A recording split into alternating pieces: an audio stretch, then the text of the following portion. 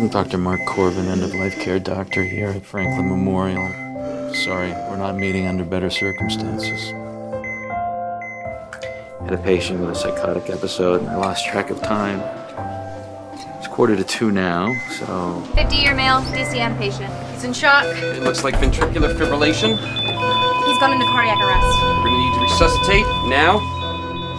you have to call it. Heart rate rising. Avery, breathe with me. Avery, if you can't hear me, if you can't respond to me, you can't legally reverse the DNR. We need to intubate now. Stop. Ella, mommy can't find you. Tumor spread to the occipital and frontal lobes of her brain.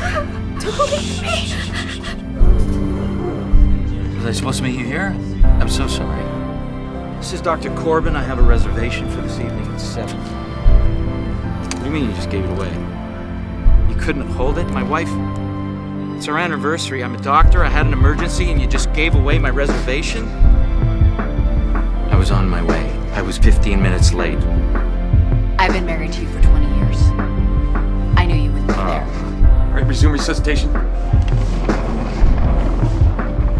Bill just needs to believe he has a chance. Do you believe Bill is terminal? This is my patient. It is my call. You are residents in training at this hospital. You finished medical school. Big whoop. If I can't trust you to be on time, if I can't trust you with my life, then you'll never be called doctors.